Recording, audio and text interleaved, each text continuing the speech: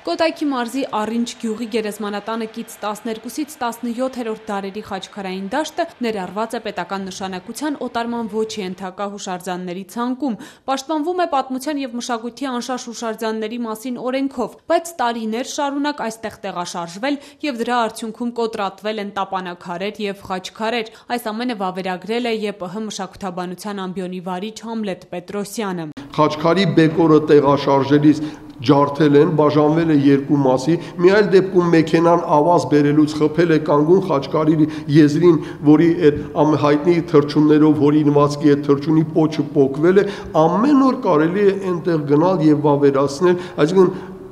ոչ միայն տապանակարերն են տեղաշարժում եւ ջարդում, նույնիսկ Կան դեպքեր, որ երբ որ հին տապանակարերի քարերը ջարդել են եւ լցրել են այդ պարսպապատի բետոնի մեջ։ Գյուղն ունի նաեւ մեկ այլ գերեզմանատուն, բայց շատերը նախընտրում են ոչ թե նորը, այլ հինը, որտեղ նոր թաղումներ անելու համար գյուղացիները տեղաշարժում են միջնադարյան տապանակարերը։ Վերջին թաղումն այստեղ 2013-ին է արվել։ Հայկուհին որպես մշակութաբանության ամբիոնի ուսանող այստեղ եղել էր 3 տարի առաջ։ Այո, կարող եմ ասել, որ հիմա շատ ավելի շատ են տեղաշարժված եւ կոտրված խաչքարերը։ Եվ հիմա ավելի վատ է վիճակը ծայրահեղ, քան երբ որ 3 տարի առաջ ես այստեղ էի։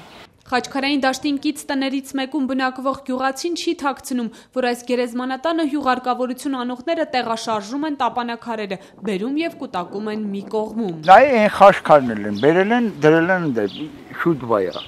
Այն դպասկից են կոմ։ Սաղ էսի բերած քարերա։ Սա գերեզման չի եղել։ Այս էս մոտիկ մոտիկ ոչ մի գերեզմանը չեն անի այստեղ։ Նորից կառուցում են։ Այս քարը տեղափոխել են։ Ինչ ասեմ։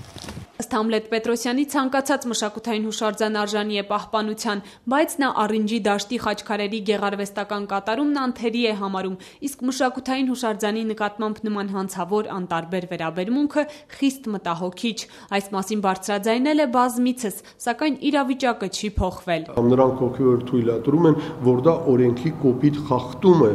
եւ որpիսի ինչ որ ձևի արդարացնեն այդ խախտումները, նախորոք ազատ տարածություններ են պատրաստում։ Գյուղապետարանից մեզ ասացին, որ իրենք հողահատկացում նոր թաղումների համար երբեք չեն արել։ Իսկ մշակույթի նախարարությունից հորդորեցին կապվել իրենց պատմական միջավայրի պահպանություն ծառայություն ՊՕԱԿ-ի հետ, որի տնօրեն Վլադիմիր Պողոսյանը համաձայնեց, որ իսկապես այնտեղ վնասվել է մշակութային հուշարձանը։ Մենք դիմել ենք իրավապահմանին, իրավապահմանինը պատասխանում է. Գիտեք, հարգելիներս, ուրեմն հողազավթում տեղի չի ունեցել։ Լավ, մենք ինչ պետք է անենք իրավապահմանին ասում է տեղի չի ունեցել։ ՊՕԱԿ-ի ղեկավարները չգիտեին, թե ինչ պետք է անեին այդ իրավիճակում։ 2011-ից 3 տարի անց արդեն այս տարի օրեր առաջ նորից դիմել են իրավապահմանին, արդեն մարզի դատախազություն։ Վլադիմիր Պողոսյանը վստահեցրեց, որ դատախազություն դիմել են Արենջի խաչքարային դաշտի մասին սոցցանցում բարձրացած ահազանգից դեռ 2 օր առաջ։ Դա ամսի 10-ին են մերոնք ֆիքսել։ Սոցցանցերում, եթե չեմ սխալվում, 11-12-ին էր ինչ էր։ Այսինքն ավելի ուրեմն շուտ են մարզային ծառայության աշխատակիցները ֆիքսել այդ իրավիճակը։ Եվ մարզային ծառայության աշխատակիցները, ովքեր վերջապես ֆիքսել են, որ արդեն ավելի քան 10 տարի խաչքարերն ու հին տապանակարերը վնասվում են, եւ ՊՕԱԿ-ի աշխատակիցները այժմ սպասում են պատասխանի։